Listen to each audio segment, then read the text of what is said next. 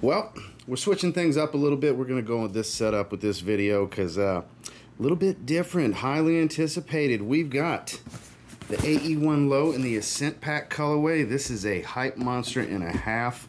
The mid was already hyped as could be this year. Now we've got the low. Seems like everybody's grabbing them. They sold out immediately through Adidas. I grabbed mine on GOAT. Let's look at them. Let's kick it.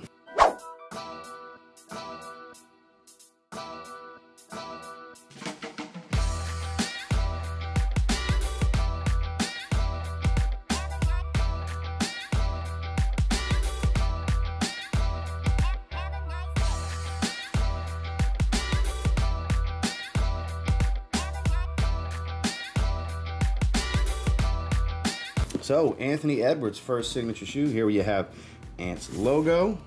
Got some cutouts on the outer portion of the box. Got some info here. I did get my usual size 8.5 men's. Got those cutouts there as well. And has his name. What does it say? I haven't even read it yet. Anthony Edwards, established in Georgia, 2001. Don't follow the wave. So they actually spent a little bit of money on getting the man his own setup has his logo in the wax paper. Paper. It's double papered. I got one shoe out already. It's actually a pretty nice box. But we'll look at the one that doesn't have the Adidas tag on it. Here we have it, the AE1 Low, the Ascent Pack colorway. Of course, we're going to start at the bottom with this traction. You can see the midsole going throughout in these cutouts. It's a pretty pliable rubber. These Look, I don't hoop anymore. It's been a while. Last time I was hooping was when I was coaching youth basketball several years ago. I would hoop and practice and everything with the young fellas and teenagers and everything, but man, I don't do none of that no more. So I'm rocking everything casually, and these are just fresh.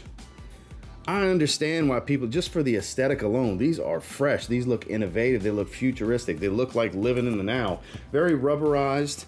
Same as, now it's not as hard like the rubber on the outsole, but as you come up, you have a rubber cage for the midsole, which there is a little bit of a cutout here on the medial side for the foam to flex.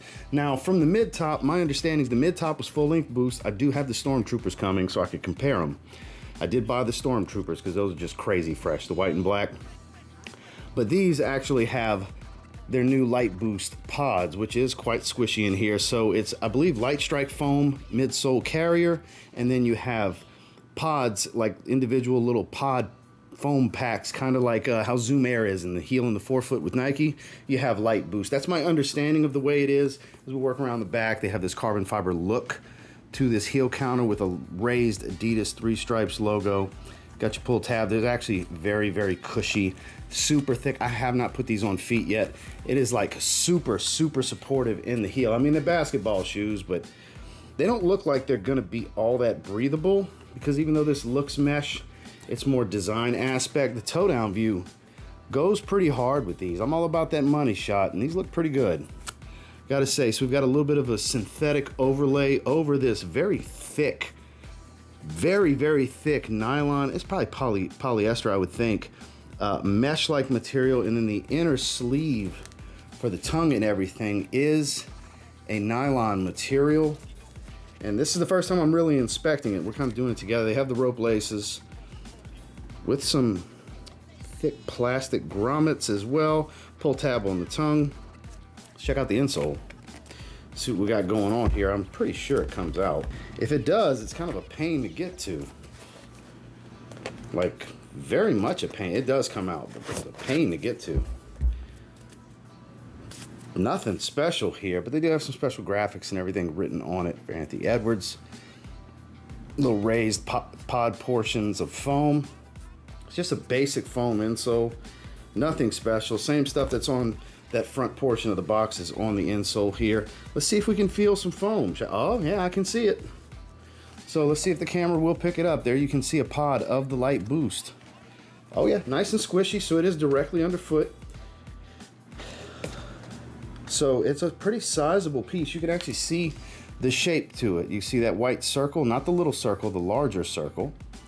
So you definitely want to go true to size to really have your heel sit in there. If you go too big, if you go half size, full size up, you're, you're not going to be sitting completely on it. You'll be sitting more on the, the light strike foam, which is much denser, I have to say.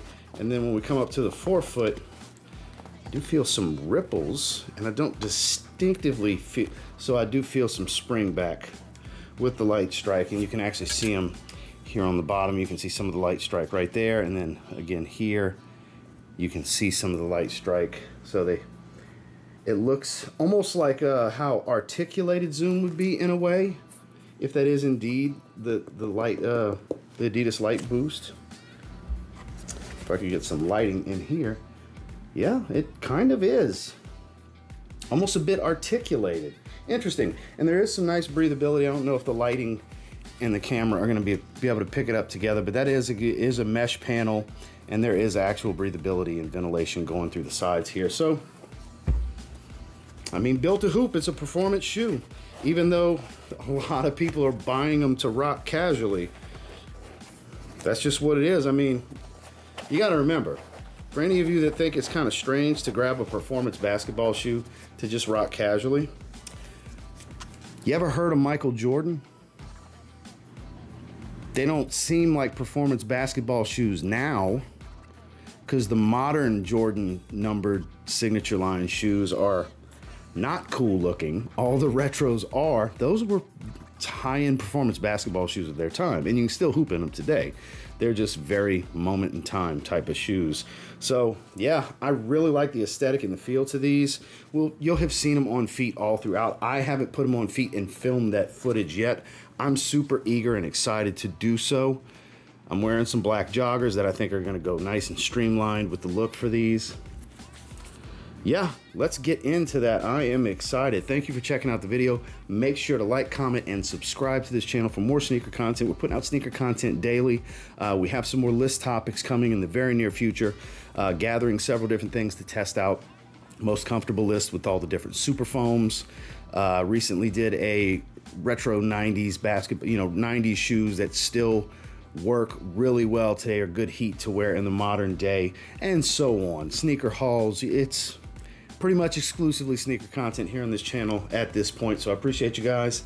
Catch you on the next one.